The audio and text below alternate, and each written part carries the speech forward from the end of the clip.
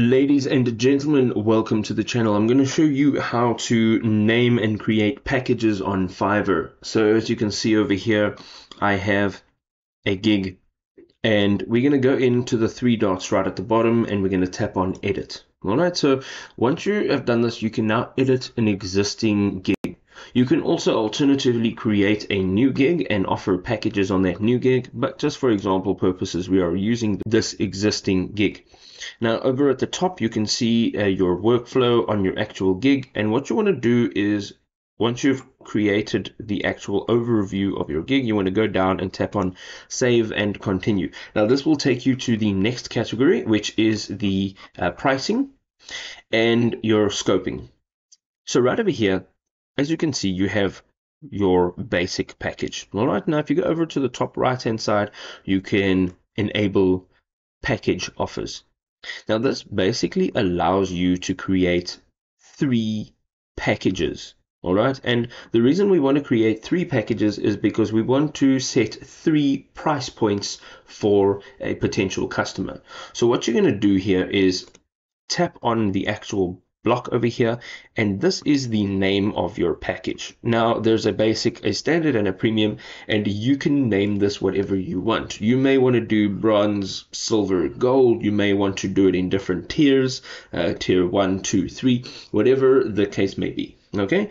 And then you want to enter in your package details right over here so you can enter as much detail as possible right over here all right once you have created the details, you can give um, the details on the days that it'll take to deliver.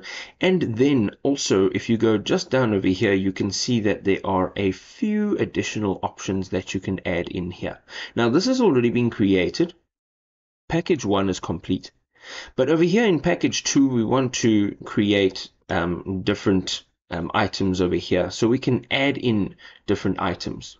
So these are all items that can be added to your packages to increase the uh, value of the package. So maybe in package one, you'll only have no, three items. And in package two, you'll have a few more items. And then in package three, your premium package, you'll have all of those items available. All right. You can go down now and you can um, select the amount of times you can um, send back the work for revision on all three of the packages and then again we want to go and set our price point. So this is 103 let's make this 153 and here we want to make this uh, 203 now the reason for that 3 over there is because the licensed images over here right is two dollars and this is shutterstock images and the total price must be in multiples of 5. So this one over here we are going to change to 155 and here we're going to change that to 205.